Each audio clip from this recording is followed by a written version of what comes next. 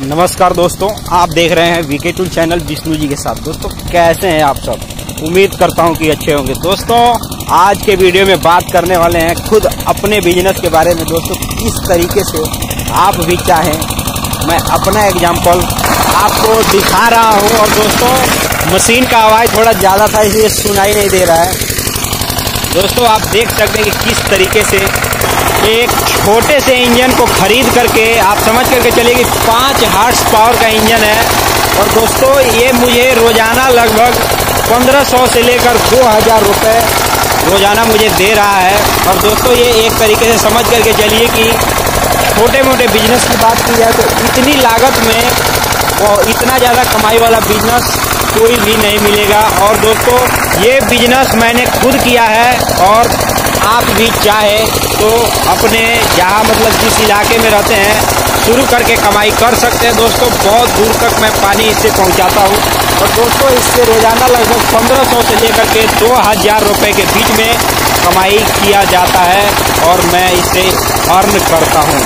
दोस्तों, मेरे पास दो चीज़ें हमेशा अवेलेबल रहता है। कहने का मतलब ये है कि एक साइकिल जो है, पुराना साइकिल है।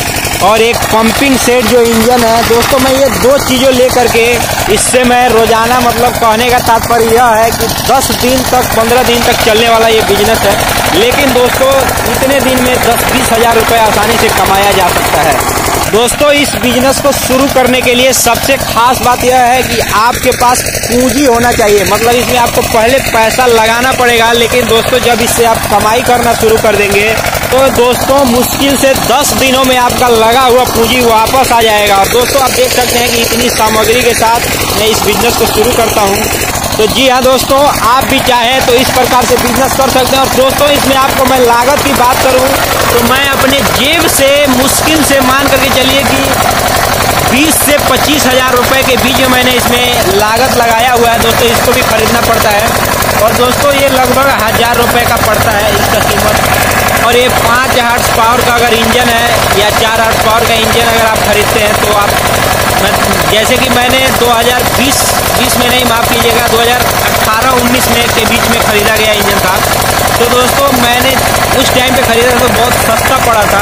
लेकिन हो सकता है कि अभी आप खरीदने जाएँ इसका बिज़नेस शुरू करने के लिए तो काफ़ी महँगा होगा। दोस्तों, इसका बिज़नेस उसी इलाके में किया जा सकता है, जहाँ पर एक तरह से प्रकार का इंजन कम हो या नहर का, जो सिंचाई विभाग का पानी आता है, वहाँ इसका साधन ना हो, केवल बोरिंग से ही पानी निकाला जाता हो।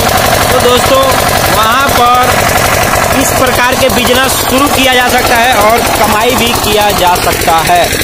तो दोस्तों, आप भी चाहें तो जिस इलाके में रहते हैं दोस्तों, अगर आप भी गाँव से बिलोंग करते हैं तो इस प्रकार का बिज़नेस शुरू कर सकते हैं। दोस्तों, देख रहे हैं कि ये पूरा प्लाट जो है, एक तरह से इसको हमको पानी सिंचाई करना है। और दोस्तों, आज लगता है कि आज शाम तक इस बिज़नेस में लगे रहेंगे। और दोस्तों, लगभग दस दिन चलने वाला बिज़नेस में से एक बिज़नेस है। लेकिन दोस्तों, ये गेहूँ के सीज़न में एक तरीके से समझ करके चलिए कि बहुत ज़्यादा इससे कमाई किया जाता है। आप भी चाहें तो जिस इलाके में रहते हैं, वहाँ पर ये बिज़नेस शुरू करके कमाई कर सकते हैं। दोस्तों, कितना दूरी से ये दिखाया जा रहा है और बहुत दूर तक पानी इससे मैं पहुँचाता हूँ।